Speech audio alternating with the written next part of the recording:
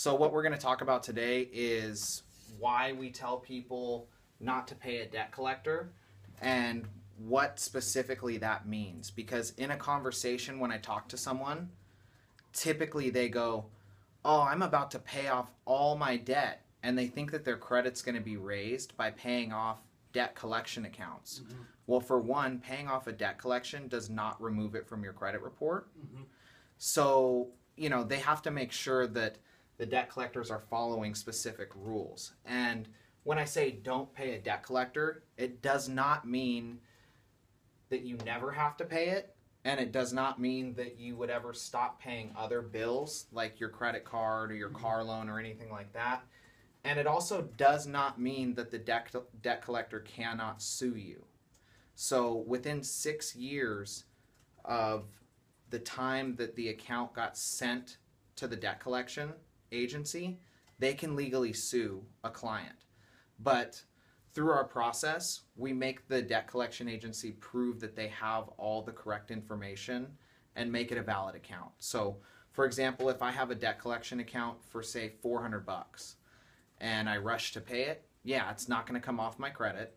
It's going to update and sometimes it'll report for 7 years from the date of the payment and it just reports as a paid collection. Mhm. So, through our process, the debt collector has to prove that they have the right to report on your credit.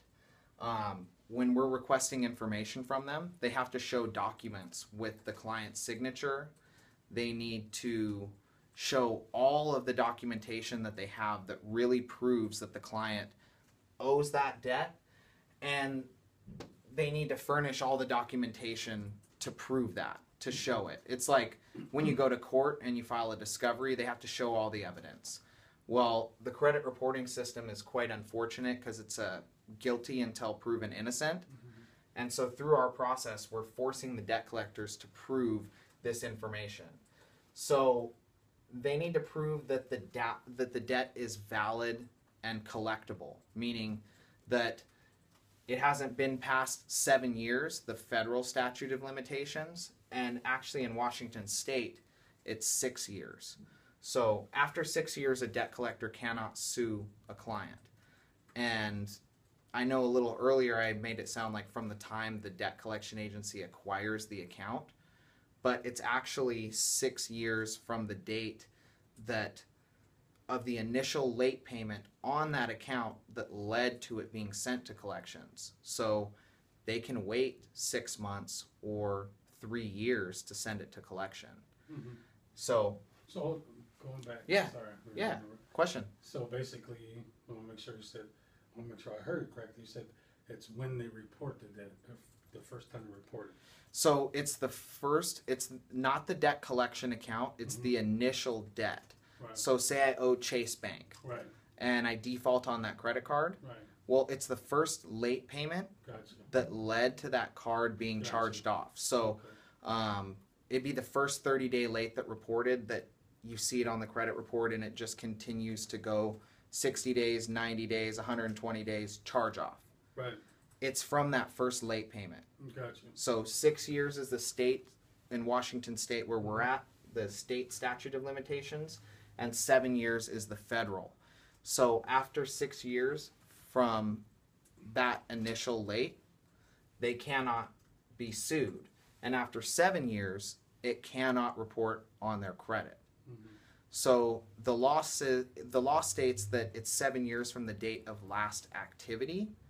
So that's where that payment can come into play and Mhm. can be counted as last activity. Mhm. So when we're telling a client not to pay a debt collector, it's mainly because one, it doesn't remove it. Mhm. Two, the debt collector has to furnish all the proof, and the burden is on them Mhm. after a client has hired us to Mhm. deal with their credit. Mhm. And the debt collection agency has to prove that they have the legal right to report on the credit, that they have all the correct documentation, and that everything is reporting accurately. If they can't prove it, it has to be removed from the credit report by law. Mhm. And so they might not take it off real quick and easy. They might send all the paperwork and continuously send it. But if the paperwork's not correct, then it's more disputable reasons Mhm. why we can get that account removed. Mhm. So really, this is just to clarify because a lot of people think I'm saying don't pay your debt. That's not true. You want to pay your debt because that's part of building your positive credit history. Mhm. But when I say don't pay a debt collector, it doesn't mean that you'll never pay them, Mhm. but it means through our process, Mhm. we want to have that debt collector hold the burden of proof. And we want them to prove that all the information on there is accurate, timely, and verifiable. Mhm. If they can't do that, they have to remove it from the credit report. Mhm. Now, if they remove it from a credit report, technically that clock is still ticking for the six year limit for them to be sued. Mhm. But if the debt collector doesn't have the right information to prove that the client owns that debt, how are they going to prove it in court? Mhm.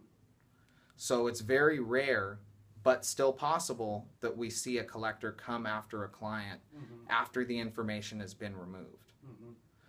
Any questions? Does this follow along the lines of consolidation of debt? So consolidation of debt would be a little bit different. That would be more like I have uh, two credit cards that are nearly maxed out, and I want to get a consolidation loan. So that would be taking those two credit cards and putting them into one at a, a loan that's at a lower interest rate.